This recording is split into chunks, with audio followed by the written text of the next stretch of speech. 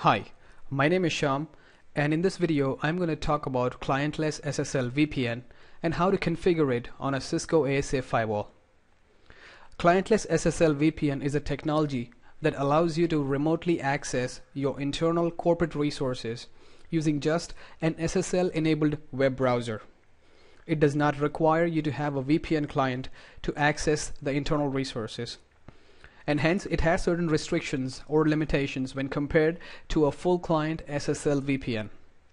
However, you can perform most of the tasks like um, accessing an HTTP resource, an FTP resource, directory listing, etc.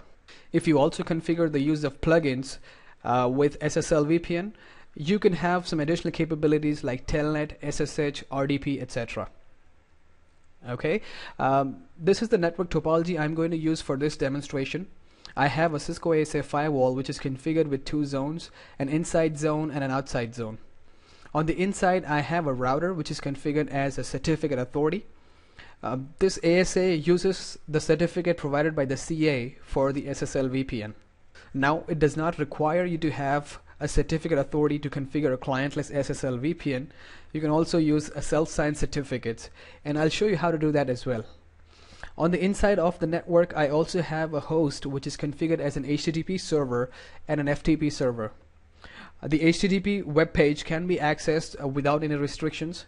However, to access the files in the FTP server, the user has to sign into the clientless SSL VPN this is the machine that I'm sitting on right now it's my physical machine and let's test the uh, HTTP access first okay? So I'm going to go to the browser and type in 192.168.1.2 forward slash certvideos.html okay? So that's the uh, web page that has an open for all access.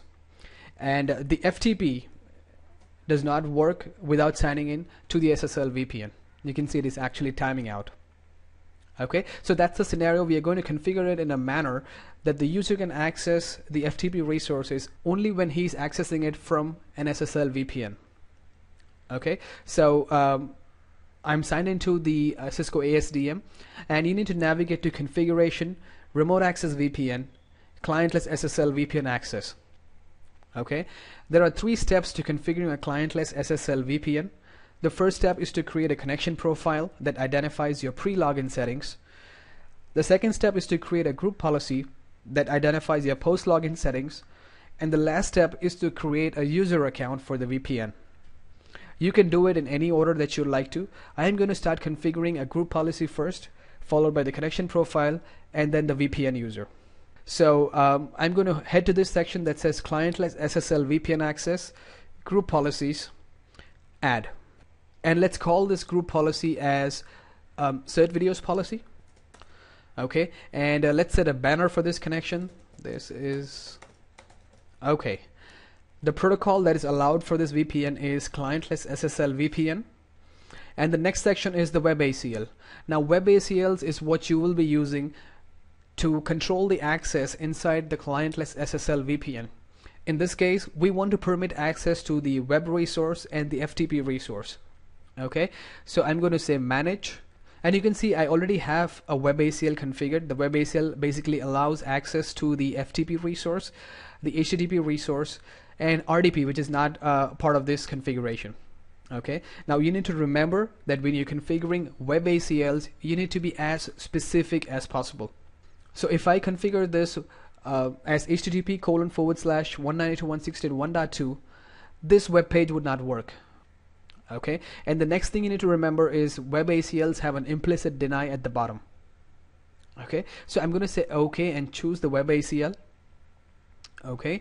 And next let's move to the portal section and create a bookmark. I'm gonna say manage. You can see I have a few bookmarks already configured. Let me delete this first and add a new bookmark.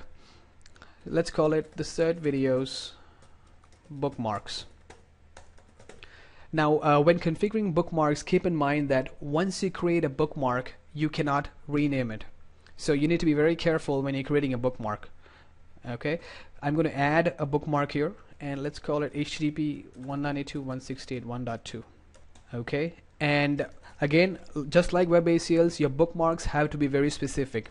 Otherwise, the bookmark will appear in the portal, but it will be inactive meaning the user cannot click on it okay okay so that's the complete uh, web address I'm gonna say okay and I'm gonna add one more for FTP say okay okay Alright, so the bookmark is created. So uh, that's all the settings uh, we want to configure for the group policy. I'm just going to say OK. And don't forget to apply your settings before you move to the next section. So we have created a group policy. Um, let's proceed for the connection profile. Now, before we begin with the configuration of the connection profile, let's go ahead and choose the device certificate. Now you can see I already have a certificate from a certificate authority you can you can use an external C, CA certificate or you can use a self-signed certificate for the SSL VPN to create a self-signed certificate go to manage and choose add here and you need to give the trust point a name okay choose the option that says add a new self-signed certificate or add a new identity certificate okay and uh, create a new key pair and specify a key pair for this um, certificate I'm going to create a new key pair uh, let's call it as VPN keys. The size is 1024 bits. Generate now. Okay, and then check the box that says generate self-signed certificate. Okay, and say add a certificate. Okay, so um, it says enrollment succeeded and it creates a new self-signed certificate. Now you can choose this certificate for the SSL VPN. However, I'm going to use the certificate that was issued by the CA okay?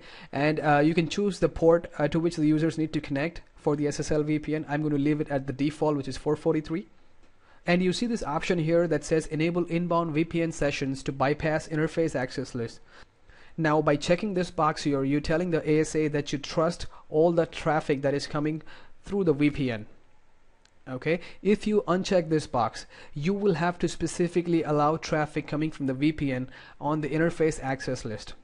You can leave this box uh, checked which means you're trusting your VPN traffic. Okay? Uh, now to add a new connection profile you need to choose add and let's call it as cert videos and let's uh, call call the alias as cert videos alias. The authentication is local authentication. If you have internal DNS servers in your organization you can specify the DNS server here. And the group policy is the one that we already created. So that was cert videos hyphen policy. Okay I'm gonna say okay. Now let's move to the other settings. Advanced. Clientless SSL VPN now it gives you a warning saying there is no DNS server defined. Do you want to continue? I'm gonna say okay and uh, I want you to see this section that says group URLs now a group URL is a web address that uh, allows access into a specific connection profile directly now what I try to mean here is when, when a VPN user tries to connect to the interface IP address of the ASA, he is presented with a list of connection profiles to choose from. Now you can assign a web address for a specific connection profile. So when the VPN user connects to the web address of the connection profile, he logs in directly to the connection profile. He does not have to choose from a drop-down list. Okay, so let's add a URL for this um, connection profile. I'm going to call it as https colon forward slash 200.1.1.2 forward slash cert videos okay let's just call it cert videos now 200.1.1.2 is the outside interface IP address of the ASA okay? Oh it's 200.1.1.1 so let me correct that here. Okay. So that's the configuration for the connection profile. Let's say OK and apply it the last step is to create a user for the VPN connection. So uh, you need to go here AAA local users local users and say add okay let's call this user as VPN user and the password is Cisco. Now uh, this user is a VPN user. He does not need to have access to the ASDM um, telnet or console access. So I'm going to choose this option here. No ASDM SSH telnet or console access. Okay? And you can also set additional parameters like uh, the group policy the tunneling protocols um, the connection profile etc you can also uh, provide this user with a dedicated IP address I'm going to leave all this at the default which means uh, these settings will be inherited by the user depending upon the connection profile he's choosing to connect to. Okay? So let's say OK apply it send it over and save the configuration. Okay? So that's it uh, uh, for the configuration of the SSL VPN let's go ahead and test the connection. I'm going to open a browser here and connect to the outside IP address of the ASA so it presents us with a screen and here are the connection profiles that are configured on the firewall. Okay this is the connection profile we configured for this video. Cert videos hyphen alias and the user is VPN hyphen user and the password is Cisco. And we are presented with the banner. This is the cert videos group policy. Continue. And we are presented with the portal page of the SSL VPN okay? You can see the bookmarks we configured. Uh, you can see this bookmark is actually inactive. I'm not able to click this bookmark which means there is something wrong with the configuration right? So let's quickly go and check the configuration in the ASDM group policies cert videos policy portal and let me quickly check the bookmark and the bookmark actually looks okay to me. 192.168.1.2 forward slash cert videos dot html that looks okay to me. Let me commit the configuration one more time and see if it works fine. Okay apply it.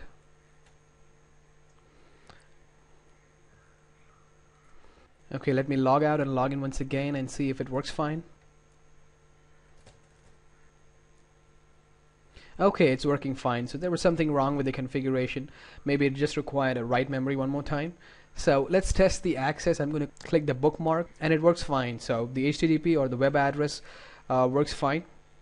Let's try to test the FTP connection. Okay I'm going to click this bookmark FTP and it is presented or it is asking me a username and a password. That's because the FTP server is configured with a username and password. So I think the username is Shyam and it is working fine. So uh, even the FTP access is working fine. The web ACL was correctly configured. So that is how you configure a clientless SSL VPN on a Cisco ASA firewall. I'd like to thank you for watching